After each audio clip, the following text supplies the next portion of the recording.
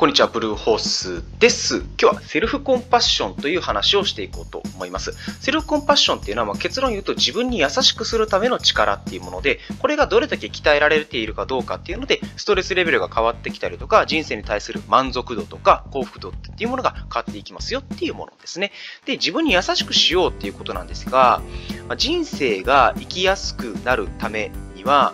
ま自信をつける要は何かの能力が磨かれて俺はこれができるとか私はこんなことが得意だっていう風な自信をつけていくことよりも生きやすくするためには自分自身に優しくする方がいいですよっていうお話なんですね。で自信っていうのはちなみにつけるっていうよりは生まれつきの要素っていうのが多いと。なんか性格によって結構決まっているっていう部分があるんですね。でかつ自信があっても、まあ、結果全然役に立たない。要は自分が思っている気持ちの部分と実際際の能力、実力の部分との乖離が出てくるんで意味がないんじゃないかっていうような報告結果っていうのもあったりするんですね。で、そんな話をした上で、セルフコンパッション、つまり自分に優しくする方が、心理学的に見ても人生の幸福感とか満足度っていうのは高まると。で、今日はセルフコンパッションを鍛えるためのトレーニング方法を紹介していこうと思いますんで、皆さん一緒に鍛えてまいりましょう。で、トレーニング方法としては、今回 5, 5個紹介します。で、内容としては、まあ、どんな人にやってもらったかっていうのは、まあ、男女それぞれに集まってもらって、だいたい3週間くらいのトレーニングっていうのを行います。5つあるんですが、それぞれを1個ずつやっていくのもいいですし、トータル15週間のトレーニングにしてもらってもいいですし、まあ、たったね、4ヶ月かからないくらいのトレーニングですから、でもしくは、あの、同時並行で一緒にやれるものは一緒にやっていくと。まあ、そこら辺は、ご自身のあのパターンによっていろいろ変わると思いますんで、好きに選んでもらえたらと思うんですけれども、3週間訓練をま一つ目安で行って、自己効力感っていうのを爆上げ、爆上げ、爆上げしたわけなんですね。トレーニング方法としては5つですね。まず1つ目がコンフォートカードっていうんですね。コンフォートっていうのは快適なとか、まあ、居心地のいいっていう意味があるんですけど、コーチングなんかではコンフォートゾーンっていうね、自分にとって居心地のいい空間なんて言葉がよく使われるんですが、自分にとって居心地のいいカードを作ろうっていうことです。で、内容としては自分が辛かった体験とかを思い出すと、例えばいじめにあったことがあるとか、ペットロスになったとか、人